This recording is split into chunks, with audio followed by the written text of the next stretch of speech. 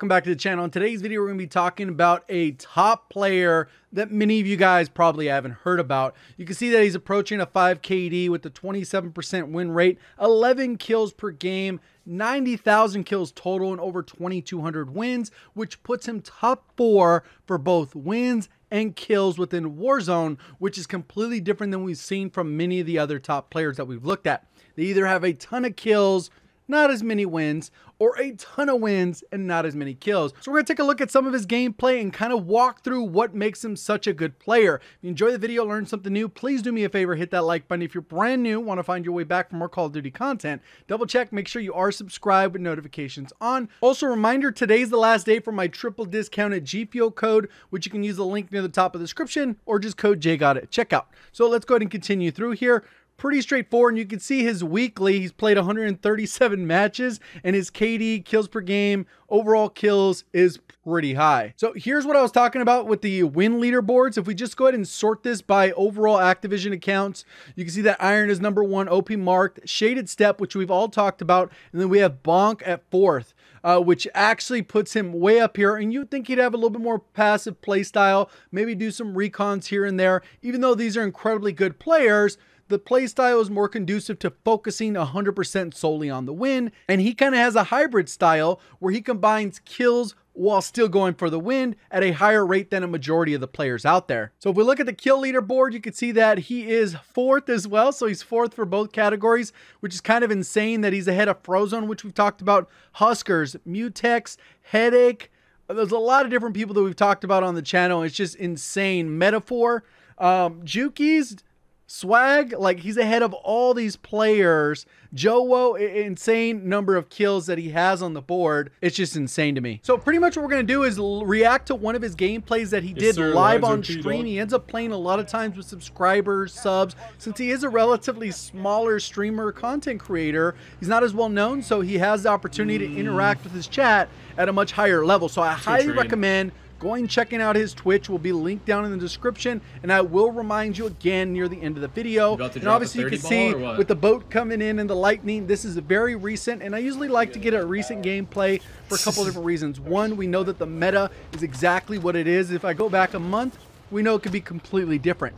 He's still one of those players that uses the DMR uh, with an FFAR, so he does a double uh, rifle type meta um, but instead of doing like the M16, which I've talked about, he does the FFAR and the DMR um, with obviously the corrected barrels uh, with, with the stealth changes to the titanium barrel. So pretty straightforward. He lands over here at uh, train. And this is actually a pretty good spot to, to land. We've talked about it before. There's usually going to be like one or two different teams that land here. So that creates a total of like two to four players.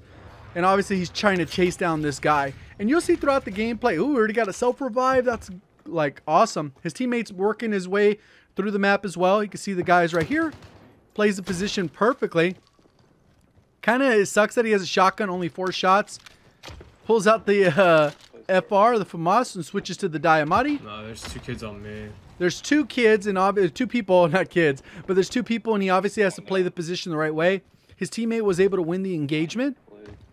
And I'm pretty sure that his teammate is just one of his mods that supports right the channel. And this is the first match on. So he warmed up with some bots, and then he jumped immediately into a duos match with, with one of his mods. Yeah, let's find You can see he has his controller on screen.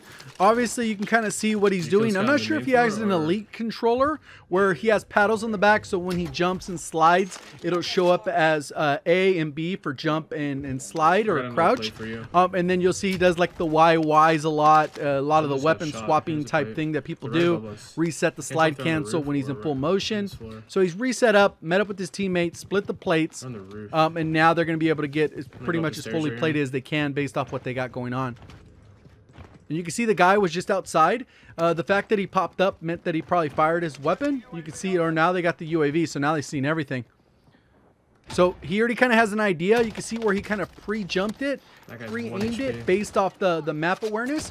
Obviously, you have these shot. other people on the map. Uh, if we look here, um, in case people don't know that, there's this guy here where he has a down arrow on his head um, on the little red dot. So that means he's below you and this other guy doesn't have a dot, so that means he is literally on your level. So you can kind of tell that we're positionally where they're at. You can see this one on the edge. He has that little bottom arrow, and this other one bottom arrow. So there's two people a little far off into the map, a little bit more towards the north, that are below him. Even the crown has that down arrow as well.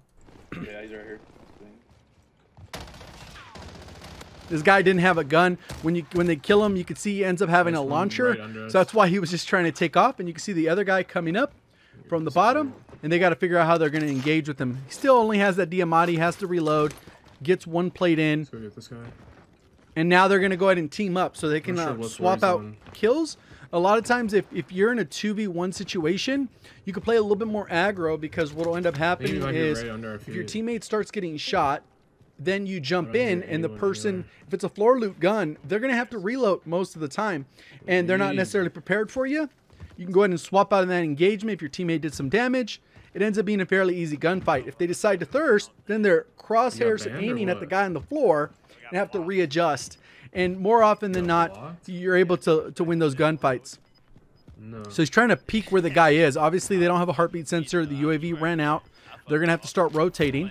So since that guy was probably a teammate with the other one, he probably just bolted off um, to go loot and try and get his teammate back. Or maybe the teammate came back from the gulag and they'll try and gatekeep. Who knows what happened with those guys until you can get another UAV in the air? You won't know.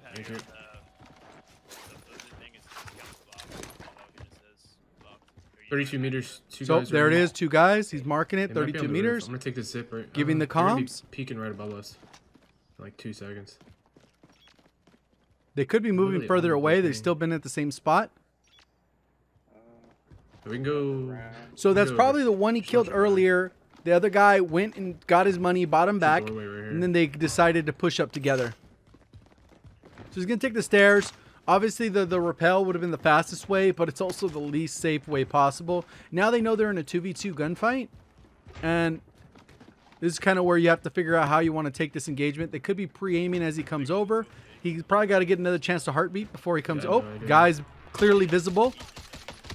The other guy's down low, doesn't have a line of sight. He jumps down, knowing that he's going to have the high ground, takes an angle, pre-fires, almost loses the gunfight, but he's able to kill the guy because the guy jumps off the roof, gets a team wipe clean. Luckily, the guy didn't have self-revive, or it could have been a little bit of a tricky situation. You still would have heard the audio cues, but the fact that he was one shot, his teammates coming over the top, he played it about as well as he could. He went for the one guy, guy's got a swapped over, here. good to go. Just plates here. So it was all looted up. The guy was just pre-aimed. He almost hit his shots. So a little bit of a slow start, but I, I know that at the end of this, he does go on a pretty high kill How many game. plates do you have, Wolvers? So obviously this is two teams. There's two to the right, and then there's one in the building, and there was one down low. He just wiped out. Looks like the other guys fought each other because uh, one of them disappeared, or two of them. He's in this ammo. So it's building. still one. He jumped out. Did he? Yeah. But even even after the ban wave, Okay, that guy's farther away. Like, give it another month or so, and it's gonna be right back to square one, probably. Track it down, and the guy's He's in the this building. It's pretty straightforward. Good good use of the heartbeat. Couldn't really see the guy. Obviously, sometimes with the rose skin, that wasn't a rose skin, but the guy was down low. You kind of have to pre-aim the, the top right. Come back through. The guy's moved. He comes through. They swap and bait, you know, bait and switch, and he's able to get the kill pretty easily. I got six plates. I could drop you some. Here. So now they got to really worry about rotating over without getting gate kept. Since that is bro, a I played, buy like, station front of them, there's a hackers in, high probability that there's people in this area in this week, next ever area right day. next to the line. I just happened to come in and see one. So he's going towards the loadout, He's crouch walking right here. and he happened to spot right the guy this go around the corner. One's And there's a guy roof. up top, calling the They got precision. snipers. Careful. He's got to go ahead and move over. He calls out the sniper because he sees the glint. They're not bad. And immediately, a lot of times, what what good players really have a uh, ability to top of you, do like- is they're able to spot when somebody's decent or semi decent, or they're just not all that great. Um, so Just what they're able to do with that is they can play the situation a little bit smarter than most players. Obviously, with him having a five plus KD weekly and over Let's a four KD, almost a, almost a five. five KD in general, pretty much any player they see, they can recognize pretty quickly whether or not they're a good player below average. And that's why a lot of times there's run into issues where people are like, well, my lobbies are so sweaty and blah, blah, blah. So he takes his first guy out. He could have got destroyed there, but they were team shooting, so he was good for the swap out. Pretty clean play. Um, but what a lot of times people don't realize is when you're a 1 These kids are still KD player, 1.2 KD player, might be there. You. Uh, even a 1.5 where you're barely, you know, you're creeping above average, everyone you're going to run into is going to be near your skill level because that's kind of how it goes. But as soon as you get towards two, then three, then four, the separation, the, there's a huge separation. Obviously, Ka, Ka doesn't have the largest skill gap, um, but people who've gone rock right here. out of their way to become the best in certain areas, they've, they've separated themselves significantly. So pretty much almost everyone they're going to run into is a player that is essentially your skill level because Watch out for obviously with skill-based matchmaking, engagement-based matchmaking, they can't throw everyone in this lobby is going to be a 5 KD. It just doesn't happen. So the vast majority in this lobby, probably between 0.8 and 1.1, and that's kind of for most lobbies. And then there's a, a chunk of people that are above leave this area. high. KDs, and then there's a, a chunk of people below KDs, and those proportions change match to match. But overall, if you have a 5 KD, 99% chance he is the best player in this lobby. And once you get to that threshold, you know you're the best player in the lobby every single time. So a lot of times the only way you're going to lose if you get caught off guard, which ghost, corner camper, overpowered gun, you know, building's bad rotation, whatever, or, or or like I was getting to is bad rotation, bad positioning on your end. So all you have to do is position well. You're gonna win most of your gunfights, and that's what separates a lot of the good players is they don't tend to miss a lot, even though They're they're, humans, so using they do make mistakes. Um, and depending on wh- whether or not they want to be super aggressive or focus on rotating early, will determine whether or not they're able to win the gunfights. Easy, clear use of the mini map. The guy's looking away because he's in another engagement. Their bounty is probably who he's looking at. Um, so the, the, he, you're kind of c- catching whoever's behind your bounty. You know your bounty is still in that general area, so you kind of got to where are the peek it and see what's from? going He's in the big yellow building, I think. One out. There's one out here. on the run. That's one run by. Oh yeah, yeah. Live. He spots the guy on the left. That's where the DMR is pretty tricky, but the damage output for for those headshots is still pretty high. So, and you'll notice he doesn't usually spam his trigger like to the fullest extent. Uh, he's usually kind of like tapping it with enough time to, for it to recenter. Um, with slight adjustment. So it's not like he's losing control of the weapon because obviously after the nerf, there's a little bit more issues. Guy's able to self revive. He peeks the top hill, but he sees this guy is looking towards Where's the the one that left. knocked you? So that tells you that there's somebody more towards this left area as well. A lot of times he got pinged by his teammate. He was able to peek it, destroyed the guy. He was low health. A pretty easy kill there. Good comms, good pinging. else at TV. But you can see the, the the guy on the top right where the ping is Yeah, now. guys, He was looking this up way, more, you know? so it tells you somebody's in this area, and he happens to spot him. So a lot of times these subtle cues of where people are looking, what people are doing, their mannerisms or movement or behavior that tells you a lot about what's going on in the general vicinity. Obviously, the bounty in the first engagement, now the guy up top here, and then the other guy, it, it all lines up where you get the information if you're looking for it and you're paying attention and you know what to look for. So, probably at this point, they'd probably get another UAV, uh, maybe get another bounty if it's one's close by, but not able to do it.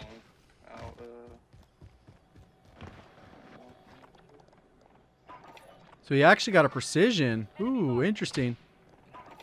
Armor plates. Car. Looks like his teammate's low on plates, so he'll definitely need those to share. The car's rolling up.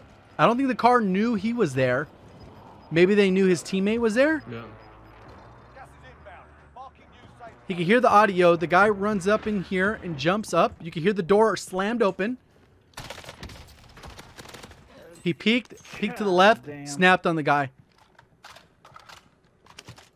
And that's a good could hop up spot. But, like what's crazy There's too is a lot in of times these guys play the game so much that plates right here. literally they know almost every hop up there is in the game. Um, just because they've either been outplayed by that months and months ago or they've like experimented, try to learn. And a lot of times they play with other top I got an players so then they right now for you to learn these other hop ups over time. give me pop view. So pretty straightforward. Uh, sure. Looking to pop the UAV. Where's he? I think bottom floor. He's Let's looking at- Fucking get in there, dude. So that now they're gonna just straight Grab the head over to TV. There's Jeep. There was at least one person. The health on the Jeep is still pretty good. The SUV. Good. And again, they're focusing on the height level. Where exactly is this guy? He does He's have a little bit of an arrow above his head. So we're going to take a different angle. You can see that the guy's on this right level on the top right. Based off of that, he's going to see the guy was right there as he called called out. You can see him right there. Pretty straightforward. He precisioned it. He's, he's stealth. I think he was thinking his teammate was going to push up because obviously you can't push your own precision. He's trying to throw a C4. He figured he had one at this point. Sometimes you get in the habit of doing that, and that's why people do that. They think they have the C4 on hand. The guy's down low. Enemy UAV overhead. Somebody called in a UAV. He's looking. He peeks. Lands up on the head glitch. Sees the guy on the left. Takes him out. The other guy runs in. You hear the footsteps of him sprinting. Pretty straightforward kill. There's a guy on a quad outside. Enemy team is Alright. He just grabbed the bounty. Here, Possibly? still, still here. More, I don't know if that guy had the bounty, but you could hear him. The guy was on the quad. Nice. Teammate destroyed him. Good. Team wipe. So now they got a lot of vehicles here. They have the like What three SUVs. They have the the Rover, What are we doing? What the Butters? Bertha, the quad, and they have a heli. What up, Law? I met Sci-Fi through Apex, uh, Jules. We used to play against each other on Xbox.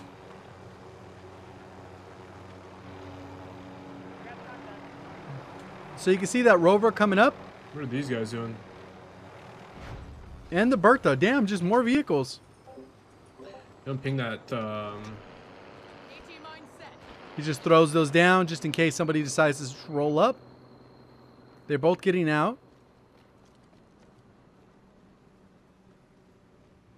But you couldn't see exactly where they went. So he's just trying to get a different show angle. yourself. One got out of the truck.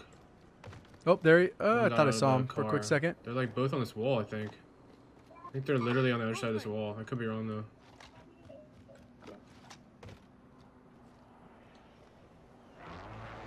I, I couldn't see them cross over, but he, he did lose a line of sight, so it could These be very like, tricky of whether or not they move in. Dude.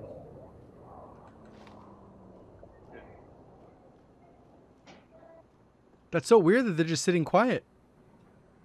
But you think they're probably still behind the wall. I think I hear him inside. Yeah, you can hear the footsteps, like the guy jumped down. Not like rotating around.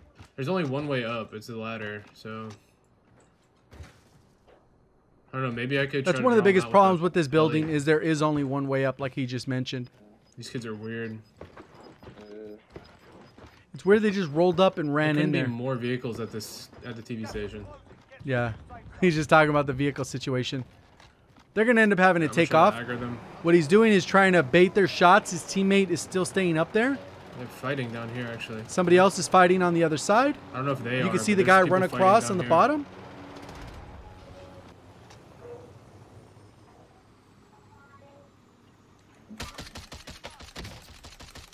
Almost missed one bullet that he needed to hit the guy.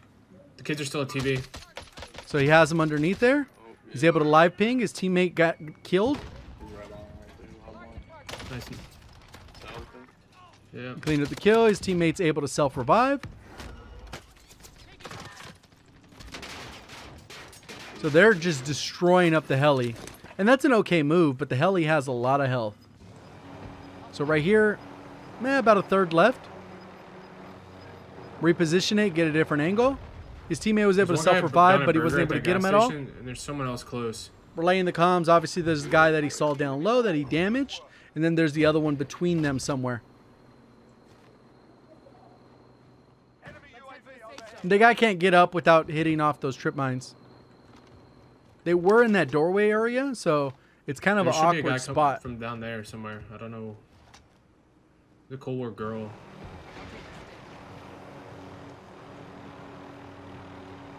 So he's gonna go pick up his weak. teammate, and he's got to worry about the chopper. Here, hop in.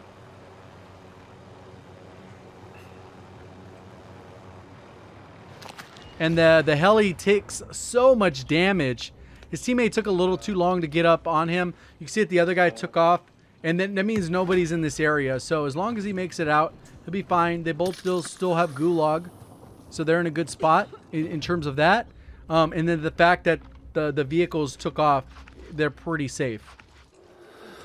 It'd be different if people were gatekeeping, like they rotated up and they decided to hold So this hill. range. He could have been in a very terrible The chopper spot. like takes so much damage. So you can see there's no line of sight right here. So he ends up taking this angle. Obviously those vehicles went far left. So this would be like the appropriate rotation. Try and get up. good. He peeks that edge, sees if anything's there, continues rotating across.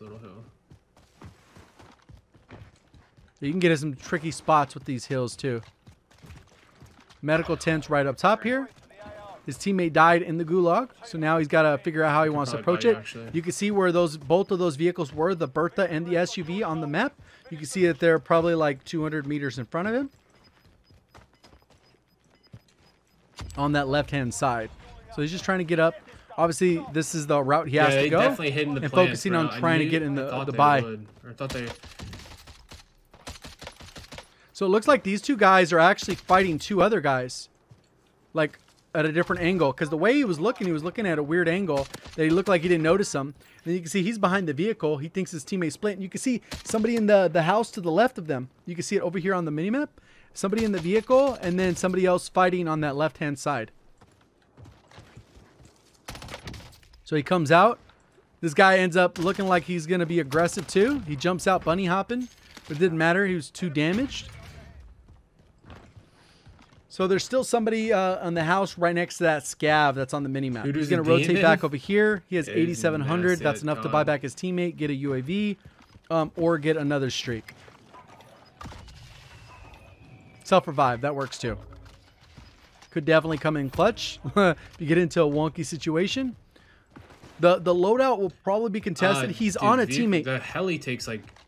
I think that. Oh no, his teammate's floating. There it I is. noticed That guy's really still in that the other house. vehicles. So that was the house we called out earlier, and he ended up getting tagged. Uh, he could have been tagged there. The guy just missed the Uh. shots, and now he's trying to figure out how he wants to approach it. He ended up destroying the dude. DMR is still good. Not overpowered. I think it's definitely balanced. It takes way more skill to use. Oh shit. What gun is that? that guy was like, "What gun yeah, is that?" could hit load. I don't think I'm. gonna get this DMR. loot, to be Yeah, so he cleared that out, and then you can see Guy's in a somebody still at the SUV, the Jeep to the left. Um, they probably left the Bertha alone, There might be and there's somebody else fighting, and you can see where the try precision. Go. He's trying to watch, gonna cover his teammate. You can see the They other just pulled up to the team just pulled they're right in there. You can hear the fighting. They're all suppressed. I think if So now he's got to approach the gunfight the right way. And this is pretty much most of the game. So he takes out two. Pretty clean kills. They were low health because they just finished the other engagement. Here, you can Everyone buy, has uh, red access cards. There's Deddy apparently. right here. Take the money. You can buy whatever you need. And here's pretty much the game. This is a fast right here. game. It gone by really quick. Make sure you buy self res. So he's got to get plates, self revive. There it goes. He spots two running across. They're fighting. Perfect third party opportunity. Because that guy has to be behind the tree. And then he's, if he's behind the tree, there's. Oh man, they're all revealing themselves. Got a precision. Third partying is so nuts in this game. When you could get good situation Those at third party long and over and over, you're in a good spot. So you can see how he, he's not necessarily holding up in a specific position. He's continued to rotate with his teammate. Um, and you're going to see right now where he focuses 100% on the power position. That's going to lead to the win. A lot of times people have no on this hill trouble. Like he said, get up on the hill behind us. Most people don't have a tr- thing. trouble getting to a top five, top 10 spot. That's not the hard part. It's See if I usually try to fry us. figuring out where you need to be within that There's top 10 teams to our spot right. So that you can a secure a right up here. win. Um, regardless of KD, kills, all that, most people struggle with that aspect that allows you to at least get in a position to win Watch the out for match. kids. Um, So he's using this as cover. He's going to rotate up with his teammate. might be another team. They up there. cycle all the way around. He know he thinks, hey, you know what? There might be another team up here because they know the other guy's down low. So it's a two v one v one right now, I believe. Oh, two v two v one. Only five left. Mm-hmm. Three others. So that's, yeah, a 2v2v1. Somebody called in a cluster. A little sketch. He's able to peek out. Doesn't really land much there. This is where you definitely notice the bullet velocity changes with the, the titanium being gone and you have to swap to the cavalry or whatever. So us right now. another cluster gets dropped on them. So you can see where it kind of went. This is kind of a dangerous spot for how close it was. But he comes out, peeks, takes a little bit of damage. He's just outside of range, He's able to heal up. So now he made it a 2v1v1. Up here, Uh, up here there with it us. is. He spotted the guy on the left, pops a deady. So the guy can't hear him. He sees the guy rotating around. Pretty easy kill there.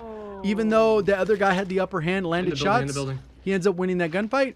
He saw where the last guy shot The from. sniper, I don't know so where. now it should be a relatively He's easy on the thing. roof. He tagged him. I knocked him. His I teammate's him. able to self revive. So he, he's able to, he has to push up now that he downed the guy. Takes an angle. The guy's going to be low health. He has to push off the building or at least to the edge because of the way the gas is. He's gonna He could have played this a little different. That guy could have jumped off and then angled it down low because since they would have expected it up, the guy could have cleaned up. So he ended up with 26 kills. His teammate only ended up with three. A pretty solid match. I highly recommend going and checking out Bonq. He's a top tiered player, able to still interact with chat uh, because he's not as well known as some of these other big streamers. So definitely go check him out. Link will be near the top of the description. Let him know I sent you. Do enjoy the videos, please let me know by hitting the like button. Go on today's videos, 4,000 likes. If you're brand new, looking to find your way back, double check. Make sure you subscribe to the channel. Also, reminder, my G Fuel code is still triple discounted till the end of the day, February 22nd. If you're looking to try it out uh, for the first time or restock at a discounted rate. Appreciate all the support on the channel. Thank you for watching. As always, have a great day.